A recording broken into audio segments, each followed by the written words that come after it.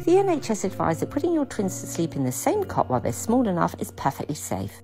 They should be placed on their backs with the tops of their heads facing one another and their feet at the opposite ends of the cot, or side by side on their backs with their feet towards the side of the cot. Always follow the same safe sleep advice for a single baby. Co bedding your twins can help regulate their body temperature, sleep cycles, and can soothe them.